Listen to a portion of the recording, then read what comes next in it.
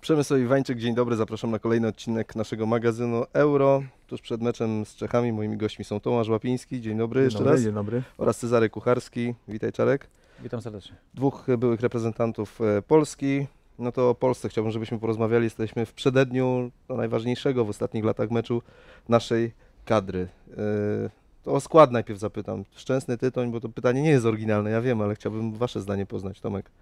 No ja zdecydowanie ty, to nie, nie ma o czym gadać. Wydaje mi się, że bramkarze podlegają takiej samej ocenie jak wszyscy inni zawodnicy z pola, także sprawdził się Tytoń w poprzednich meczach dwóch. Także tutaj dla mnie to nie ma tego pytania. Rozmawiałeś w czwartek z selekcjonerem. On powtarzał jeszcze kilka godzin po meczu z Czechami, że dla niego numerem jeden jest Maciej Szczęsny. To był taki blef, czy chęć uspokojenia Szczęsnego, by nie poczuł się dotknięty, że, że nie wyjdzie w podstawowym składzie? Nie wiem, trudno mi oceniać. To z kolei dzisiejsze chyba, nie wiem, e, doniesienia prasowe mówią raczej, że jednak skłoni się ku Tytoniowi. Także myślę, że, że tak, tak pewnie będzie, ale to decyzję będziemy znali pewnie dopiero w dniu meczu. Cały naród, y, Czarek, y, jest za Tytoniem, bo wsze- wszelkie sądy i to takie dość reprezentatywne, w których biorą udział no, kilkanaście tysięcy e, internautów, czy też widzów, czy, czy, czy czytelników, wszyscy stawiają na Tytonia. Rozumiem, że Ty też. No, nieświadomie zwiększamy presję na trenera Smudę, żeby podjął de- decyzję desygnować Tytonia do bramki, ale ja rzeczywiście też, yy, gdybym był trenerem, stawiłbym Tytonia, bo wydaje mi się, że zasłużył na to, broniąc karnego, wprowadzając też yy, duży spokój w poczynania naszych yy, obrońców. W meczu z Rosją nie popełnił żadnego błędu. Tak, Wszystkie jego, jego interwencje były bardzo pewne. Tam, tam nie było widać, nie było czuć nerwowości. Spokój. Ja jeszcze, jeszcze chciałbym jedno dodać, właśnie wczoraj w rozmowie z Jackiem Zielińskim tak rozpatrywaliśmy taką sytuację, że na przykład wchodzi Szcz- Szczęsny do bramki powiedzmy, robi błąd, jakiś potężny powiedzmy błąd, który jednak nie kończy się źle dla nas, wygrywamy mecz, przechodzimy dalej. I co w następnym meczu trener ma zrobić? Wtedy ma dwóch bramkarzy w zasadzie spalonych w dużej mierze, tak? Bo Tytoń, który grał dobrze, jakby został posadzony na ławce, może czuć pewien niedosyt, natomiast bramkarz, który później wszedł, dalej pokazał, że coś, coś z jego grą jest powiedzmy nie tak. Czyli jakby ma, sam, sam A wyobraź może sobie Tomek jeszcze bardziej, jeszcze, jeszcze gorszy wariant, taki, że stawia na Szczęsnego i ten Szczęsny e, no, daje, wywija jakiś numer. To No tak, wtedy no nie to ma ani Szczęsnego, ani tak, Smudy ale to tak naprawdę. już się kończy jakby cały turniej, jakby już jakby nie ma, nie, nie ma nowego problemu, powiedzmy. No, znaczy problem generalnie jest, ale już nie w tym turnieju, nie? Natomiast ja mówię, rozpatruję sytuację, kiedy jeszcze Mhm. drużyna uczestniczy w czymś i dalej trzeba podejmować jakieś decyzje.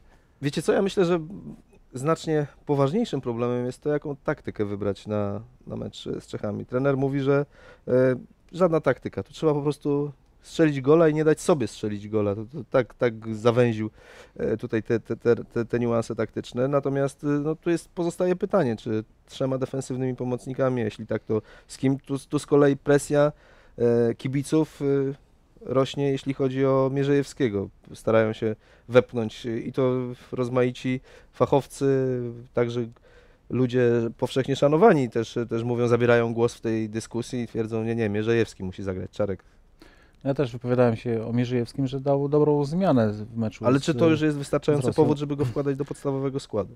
To, jest, e, to jest pytanie e, do trenera i do sztabu, tak? bo w dwóch meczach e, zagraliśmy w dwóch różnych ustawieniach i gdyby, gdyby mm, grał Rosicki w meczu z, z Czechami, to być może dobrym pomysłem byłoby zagranie tymi trzema defensywnymi pomocnikami, tak? ale jeśli, jeśli ten Rosicki nie będzie grał, tak, to może szkoda, szkoda marnować e, jednego piłkarza w ofensywie, bo, bo trójką e, piłkarzy e, w ofensywie możemy możemy mieć problem ze stwarzaniem sytuacji, bo, bo wydaje mi się, że tego jednego piłkarza ofensywnego może brakować w meczu, którym, którym musimy wygrać. Trzeba zaryzykować trochę.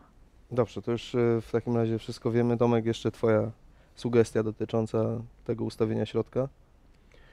Znaczy tak, ja myślę, że trener ma teraz doradców, kilka milionów, myślę, Polaków, wszyscy by chętnie e, doradzali. No myślę, że to jest jakby, zostawmy to decyzję trenerowi. On naj, najbliżej zna, jakby widzi na co dzień, jak, jak wyglądają piłkarze, jakie mają możliwości i to jest jakby no, wypadkowa e, tego, jak, jak piłkarz zachowuje się i na treningu, i na meczu po prostu. Gdybym był trenerem, e, gdybym mógł decydować o składzie, to ustawiłbym ofensywę. e, ustawiłbym e, na boku, na lewej, na lewej stronie ofensywnego, obroniaka dałbym do środka, bo Mierzejewski ma, ma, ma szybkość, może na, na szybkości zrobić przewagę, dośrodkować. E, Myślę, że obroniaka postawiłbym takiego ofensywnego, ustawionego pod Roberta. Ale właśnie Ty rozmawiasz z Robertem, jesteś jego menedżerem, czy on w tej pierwszej połowie meczu z Rosją nie czuł się osamotniony, nie czuł się no, no, wyalienowany tutaj, gdzieś próbując y, z piłką przebrnąć przez te zasieki i dotrzeć do pola karnego rywala. Taką irytację widziałem też w nim, jak na przykład Tytoń wyrzucał mu ręką piłkę, no bo innego sposobu, żeby piłka do niego dotarła nie było. E, To była jego ciężka, ciężka praca. Wiadomo, że napastnik e, bardziej woli strzelać bramki, e, czekać na sytuację, niż walczyć z obrońcami, ale akurat w tym meczu, w tym dniu, jego rola była walka z kilkoma obrońcami rosyjskimi, skupianie uwagi na, na sobie, po to, żeby inni piłkarze właśnie e, z pomocy wychodzili, e, wychodzili e, mieli więcej miejsca. I to robił bardzo dobrze, bo, bo wydaje mi się, kto, kto oglądał, kto analizował ten mecz, rozumie rolę Roberta. tak.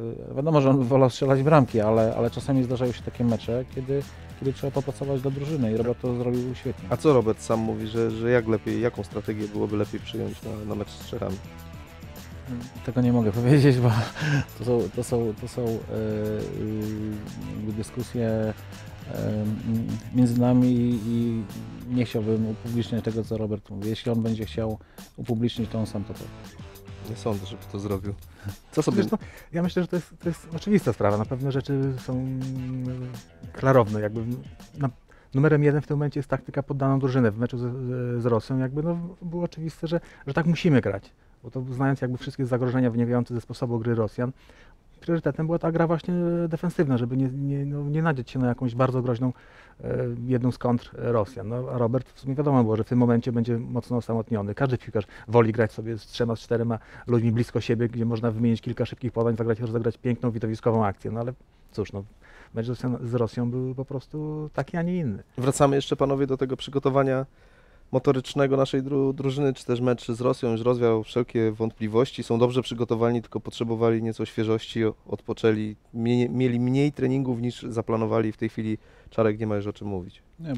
Pamiętajmy, że, że tym zajmują się fachowcy, powinniśmy im zaufać. e, I to jest też turniej. e, Mecze rozłożone jest na, na, na, e, na, na dłużej niż jeden tydzień, więc wydaje mi się, że robili to świadomie i mądrze. I e, patrząc na grę naszych e, piłkarzy z, z Rosją, tak, ja nie widzę żadnego problemu. Ja, te, te dyskusje o, o, o złym przygotowaniu e, to były po prostu myślę, że, że to niepotrzebne i e, wszyscy byli, którzy byli na, na, mm, na stadionie narodowym podczas meczu z Grecją, rozumieli skąd, skąd jest e, e, brak, e, ewentualnie brak dynamiki w akcjach nie tylko naszej drużyny, ale też i Ale Greków. to w drugiej połowie, no bo w pierwszej połowie to tempo było zabójcze przecież. No, sposób, y, w jaki oni przechodzili do ataku, jak szybko wymieniali podania i jak często w ogóle byli pod bramką przeciwnika.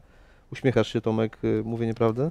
Nie, no prawda, mówię, rzeczywiście ja też, dla, dla mnie to jest też problem taki trochę sztuczny, wytworzony. W tym meczu z Grekami zdarzyło się tyle złych rzeczy na początku tej drugiej połowy, że to w dużej mierze mogło zadziałać bardziej na głowę niż na jakieś takie fizyczne przygotowanie. To wydaje mi się, że mecz z Rosją pokazał, że jednak są w stanie wybiegać spokojnie 90 minut.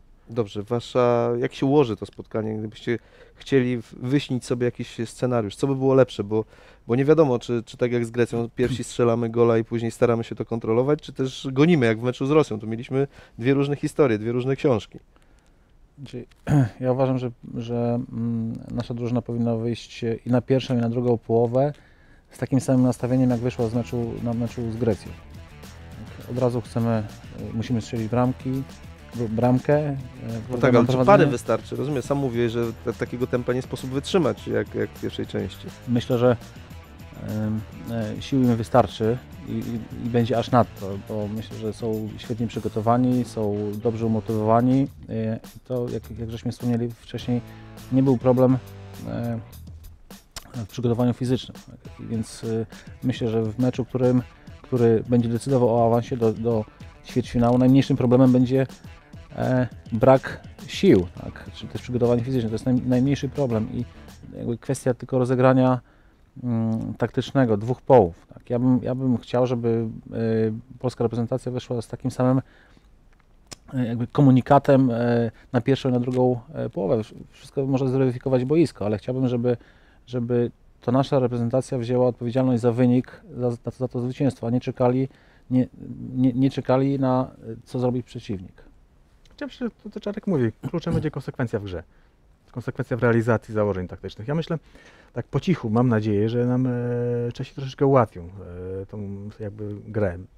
Że jakby mając, mimo tego, że mając świadomość, że wystarcza im remis, że podejdą do tego meczu z Polakami podobnie jak podchodzili do meczu i z Rosją i z Grecją. Czyli od razu na dzień dobry nie będą czekali na, na to, co się, na, nie wiem, nie będą pilnowali tego remisu 0-0, tylko zaatakują.